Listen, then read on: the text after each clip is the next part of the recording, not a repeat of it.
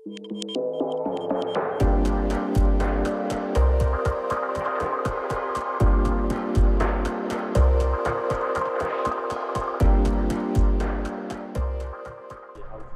identify yourself as it relates to? Would you say you were one of the founders, one of the original like stakeholders? How would you what would you say? I don't really know. I, we didn't have, so we didn't have like titles. We were just doing the work, right? And so I don't really know how we would be categorized.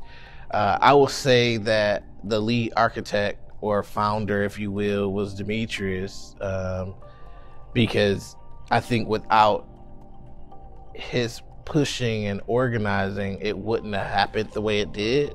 My name is Demetrius Jaggers. I uh, currently am the senior director of the Dowdy Multicultural Center at West Chester University. I actually had the, the amazing uh, opportunity to uh, start men uh, at Kent State University. It was a result of some research that I, I wanted to do, pursue, uh, specifically looking at the experiences of Black and Latino men at Kent State University. So I'm a two-time Kent State alum. I went to Kent for my undergrad. I was there from 2005 to 2008 for undergrad, and then from 2009 to 2010 for my master's. I traveled to Columbus to do this internship that was focused on state government and politics. And while I was in Columbus, I, I was able to get connected to Ohio State. Uh, and at Ohio State, they have the Todd Anthony Bell Resource Center on the African American male.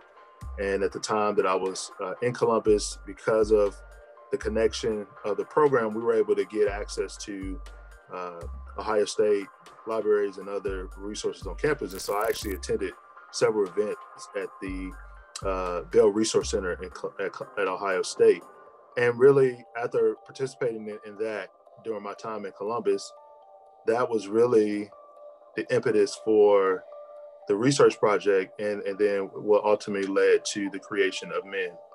As I was preparing to, to come back, I uh, one day I was actually I went to work out and uh, I was thinking about all that I had experienced in this program. Uh, I was invited. I don't even remember how I got invited, but I was invited to the governor's mansion to observe this panel between there was a group of black men who were in college and then another group of black um, young boys who were high school students. And at that time, the, the governor was working on this statewide initiative to close the achievement gap. And so I'm sitting in a, the governor's mansion, and you can name, you know, senators, state reps, lobbyists, and uh, having this conversation. And it was at that moment that I really, I really began to think more intentionally about my experience as a black man, uh, attended a predominantly white institution, and what that meant, uh, being a first gen student, being low, low income, and I Uh, left that experience really with the kind of a, a, a weight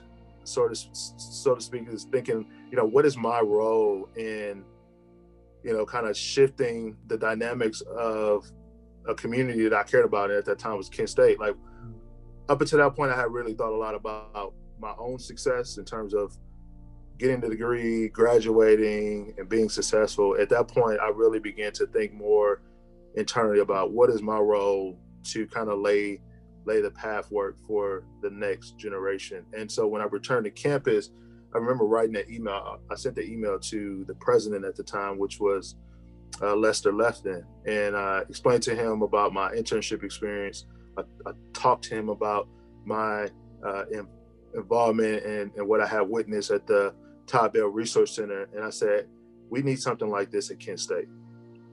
You know, that was that was my kind of takeaway, and I and, I wanted to see what we could do for, as an institution to to make that happen. And so that email was kind of the the, the starting point of men. When I initially sent that email, I really didn't have a a lot of I didn't have a sense of like what it would take to achieve uh, what I wanted to achieve, but I I got a response back from the president, um, and you know, he, he encouraged me to talk to a couple different people who were there at the institution, uh, and and to be quite quite honest, you know, some of those conversations weren't that helpful.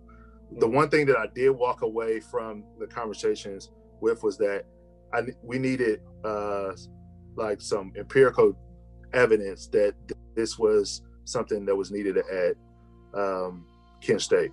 Like we needed to provide proof that you know black men or Latino men could benefit from an initiative like this. And so my first thought was, you know, hey, let's do some research. That happened uh, kind of this this fall of uh, 20, 2009, and we conducted interviews through the fall and interview. We ended up interviewing 26 black men, black and Latino men.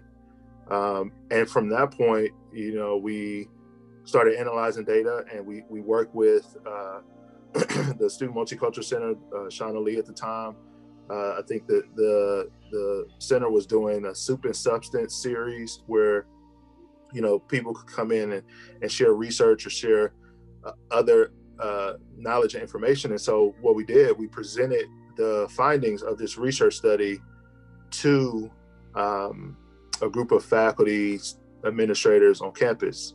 Um, and, and because of the support of at that time it was uh, Greg uh, uh, and um, resident services and uh, a couple other departments on campus who helped to support the research by providing incentives and helping helping to pay for food for participants. So that was really helpful.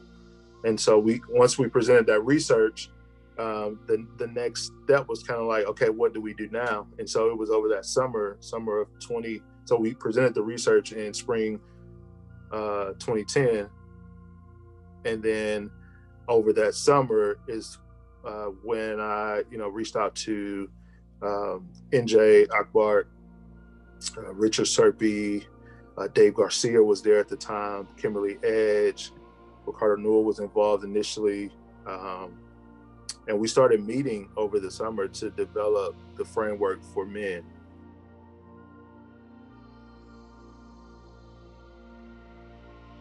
So what we wanted to do, uh, and we started meeting in, I think it was spring of 2009, but maybe it was fall. I, yeah, it was fall, fall 2009. That's it's crazy that this it's gone by so fast. Um, to meet to talk about starting the Male Empowerment Network. A lot of it was about providing students support, and Demetrius Jaggers did a research project um, showcasing what the need was and black men talking about um, and Latinx men talking about uh, the support they wish they would have had while at Kent State. So that is um, why we started it and how it started. The university looked totally different than what it does now. The support we have for students and staff members totally different. Uh, we have much more now um, and the Male Empowerment Network was one of those programs that the university desperately needed. When we continued to to progress with men, um, 2010, 2011, 2012, we were seeing just enormous growth uh, when it came to retention and graduation with the gentlemen that were part of the program. Uh, at one point, we had like a 93% graduate uh, retention rate with the gentlemen in uh, the Male Power Network, which was about 40 um, students, and everyone who were part of men that sem- that year also graduated that were set to graduate. And so then that following year, we had, I think, an 86% black male um, retention rate, which never happens. That showed what we could do, you know? And a lot of that work happened because of, you know, we worked with 50 and 60 gentlemen. Why it's important is because it, it helps students find their purpose, help them find their, their tribe, find the, their people. Uh, and if you feel like you have the support, uh, you feel like you belong, uh, you can do wonders in this environment. We we have to be realistic and know that we are at a predominantly white institution, and we are outnumbered. And we come here Uh, if you're lucky enough to go through uh, Kupita, you're coming here with uh, a lot of support and family, and then everyone goes in their corners, and you don't see them that much um, potentially. And so, can we build systems to counter the systems that exist that may not be providing the best support? And that's why men is important. It provides that system and that structure of support for students. And when we were able to prove what we could do with it, um, providing that outline for the Division of Diversity, Equity, and Inclusion, which I was not a member of at the time, uh, and why it was valuable, they they took it on. Um, prior to that, no one wanted to take it on as a actual program, as a part of any unit, and so we did it just out of the kindness and love of our our hearts, but we didn't get paid for it. it was not it was not a part of our job description, but we felt it was important. And uh, Dr. Brown, um, Dana, and Dr. Dr. Lawless Endrick um, and Dr. Pringle were really big in trying to make sure that we were able to do a su- successful transition to an institutionalized program. You know, I didn't want the program to fizzle away because it's about a personality. I wanted it to be about the students and what they wanted, and that my role was to help facilitate their wants. And so we started, you know, having leadership roles. Braylon Hudson and uh, Stephen Parrish were the first leaders. Whatever year they did it, they graduated that year. So whatever year they graduated, they'll be able to tell you what year that was. It was something that we were invited to participate in. Um, and when it was brought to us um, by our mentor and still uh, my mentor and, and, a lot of us, NJ Akbar, um, he presented it as just a way for us to, you know, sort of conquer the difficulties and the struggles we were we were dealing with as young, you know, young men. As we started to grow and started to see more consistency, um, and realize that hey, this is something that we need to actually make sure that we're taking care of so that it doesn't die out. Um, uh, NJ Akbar was was a pivotal player in getting us organized, and um, I think his his selection of you know it was a very careful and hand selected group of leaders that he picked initially, um, because we all carry different a different set of strengths. That's really how I think starting to have some student leadership into it is really what helped propel men to the next level. And then it became really about the students, and they began to drive the content of each meetings, and um, from driving the content to leading group discussions, and basically pushing me further and further from the center of the room and to the back of the room, and just be able to watch and take in what is happening. That was to me the be- most beautiful part of the program.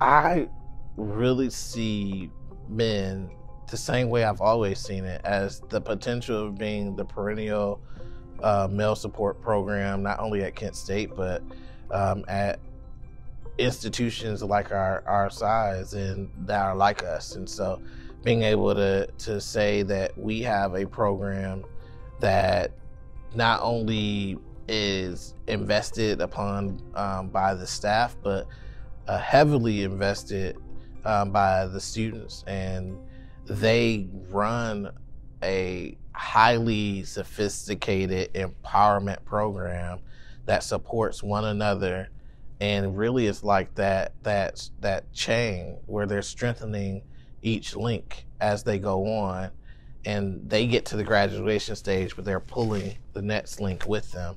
And if everyone continues to pull their link across that finish line then everyone makes it. And I, I think that that is what i see this program being able to do um, and have done in some ways. And i think um, in the future there's only I mean, there's only up from here.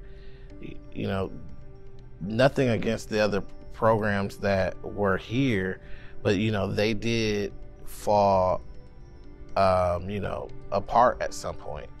And I think that a lot of it had to do with not having um, that institution behind it. And I think that now that we do, um, it's important that we don't lose it, but we only elevate from here. So, so my message uh, to men and all those involved with men is to uh, number one, congratulations on uh, reaching this this point. Uh, I would say continue to reach uh, uh, toward progress and change for not just for yourselves, not just for the people that you know, but to to to, to imagine and reach beyond those that you know think about the the students who will come after you in the next 10 15 20 years and to imagine what men could be or, or should be for them when they need it. Um, so i would just say continue continue doing uh, great work and, and remember that uh, you know you you are the change that that we need